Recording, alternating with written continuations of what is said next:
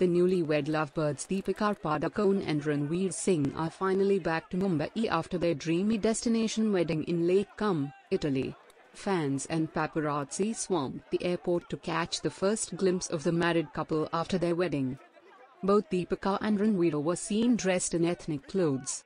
Ranveer wore an off-white, silk kurta churidar, black shoes and a shocking pink Nehru jacket with elephant motifs.